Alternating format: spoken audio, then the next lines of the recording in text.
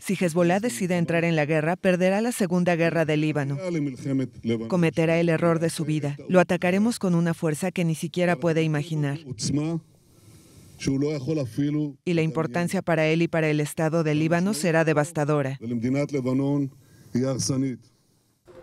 La comunidad internacional teme que la guerra escale y se desborde a otros países de Oriente Medio.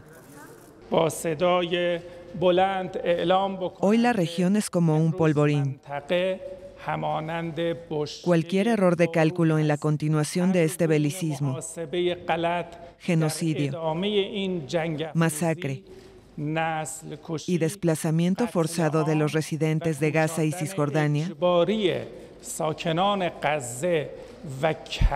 podría tener consecuencias graves, amargas y de largo alcance en la región que también podrían ir en contra de los intereses de los belicistas en la región.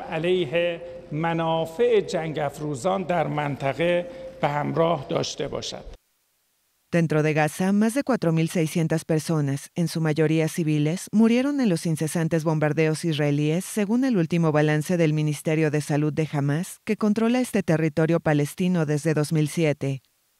Según las autoridades israelíes, más de 1.400 personas murieron en Israel desde el 7 de octubre, la mayoría civiles ese mismo día a manos de los combatientes de Hamas que lanzaron una ofensiva desde la franja de Gaza.